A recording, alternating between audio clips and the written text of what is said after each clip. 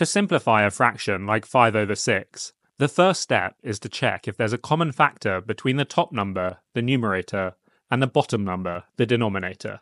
A common factor is a number that divides evenly into both. Let's look at the factors for each number. For 5, the factors are 1 and 5. For 6, the factors are 1, 2, 3, and 6. So in this case, the largest common factor is 1. This means we need to divide both the numerator and denominator by 1. First, we take the numerator, 5, and divide it by 1, which still leaves us with 5. And next, we take the denominator 6 and divide it by 1, which leaves us with 6. So, reassembling our fraction, we have 5 on the top and 6 on the bottom.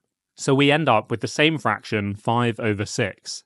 This shows us that 5 over 6 is already in its simplest form. In this problem, we follow the standard process of dividing by the highest common factor. However, in the future, if the highest common factor is 1, the fraction is already in its simplest form, so no further division is needed. If you'd like to learn how to convert 5 over 6 into a decimal, click the link at the end of this video.